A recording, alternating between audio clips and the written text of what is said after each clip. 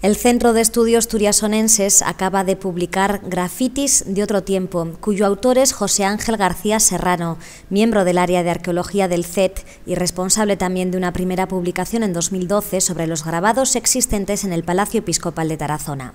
Y bueno, pues enseguida empezamos a ver que había nuevos grafitis, sobre todo en una zona que le llamamos las, las celdas ocultas, porque estaban pues desde hace 40 años tapadas por una trampilla, era un acceso muy complicado.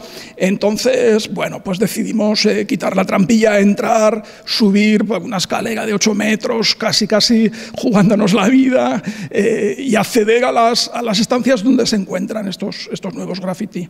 ¿eh?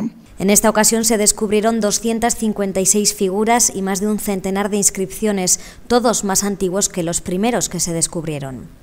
Sí, bueno, la principal diferencia es la cronología, porque en este caso, en este caso los graffiti arrancan desde el siglo XVI. Eh, la fecha más antigua que hemos encontrado es 1501, entonces eh, se extienden desde 1501 hasta 1753, por lo tanto abarca una cronología muy amplia. En el caso anterior partíamos del siglo XVIII.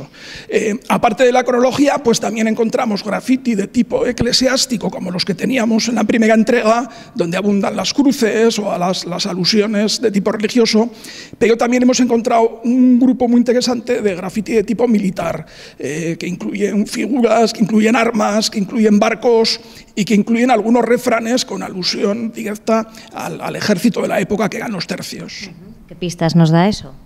Bueno, pues las, las, pistas, para empezar, es que aquí en Tarazona estuvo preso alguien que luchó en los tercios españoles, los famosos tercios que eran temidos en toda Europa. Y además sabemos su nombre o su apellido, sabemos que se apellidaba Morales, que además suena como apellido turiasonense. Eh, y además tenemos la fecha, eh, que es 1535.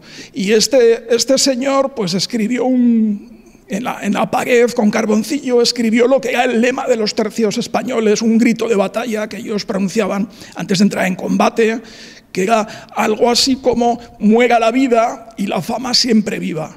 ¿eh? dentro pues, de, de, ese concepto del honor y de la fama que era tan típico del siglo XVI. El estado de conservación de este conjunto de grabados es pésimo, según el arqueólogo.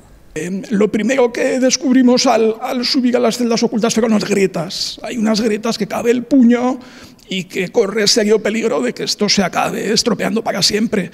Eh, por eso precisamente nuestro empeño en, en, publicar esta colección de graffiti cuanto antes para que ya se conserven como parte del patrimonio de Tarazona, eh, por, por, lo que digo, porque es muy posible que en unos pocos años se acaben destruyendo completamente si no se interviene.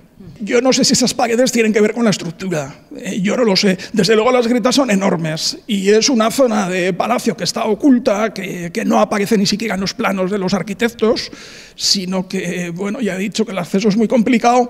Eh, entonces, lo que está ocurriendo en este momento es que el lucido de la pared se está desprendiendo por la acción de la humedad, de las sales, de las propias grietas, entonces los grafitis están en el, en el enlucido y eso al final cae al suelo. Pero las propias paredes tienen unas grietas muy serias que en algún momento, pues eh, yo creo que necesitarían una intervención. Parece que la difusión es la única manera de garantizar la preservación de este patrimonio. Eso es. Eh, nosotros pensamos, y, así lo ha hecho siempre el Centro de Estudios Tubiasonenses, que al final es la entidad científica que está respaldando este estudio y otros muchos, pensamos que la difusión es la única forma de preservar el patrimonio. Entonces, pensamos que no es difícil poner en valor este conjunto de graffiti, eh, se puede habilitar un acceso de manera relativamente barata y podrían entrar grupos pequeños protegidos con su casco, con su guía. Desde el área de arqueología del Centro de Estudios Turiasonenses no descartan que haya más sorpresas en el Palacio Episcopal. Porque precisamente aquí, junto a estas dos celdas ocultas, aparece una pared que tiene pinta de que está tapiando otro espacio. Eh, entonces, en algún momento, si tenemos los medios suficientes, sería interesante abrir esa pared a ver qué hay detrás, porque el aspecto, el aspecto así a primera vista es que puede estar tapiando pues, a lo mejor otra celda o otro conjunto de celdas. Este edificio fue una antigua zuda musulmana y el obispo Pedro Pérez Calvillo lo adquirió en el año 1386 para reconvertirlo en el Palacio Episcopal. El proceso de construcción finalizó en el siglo XVI.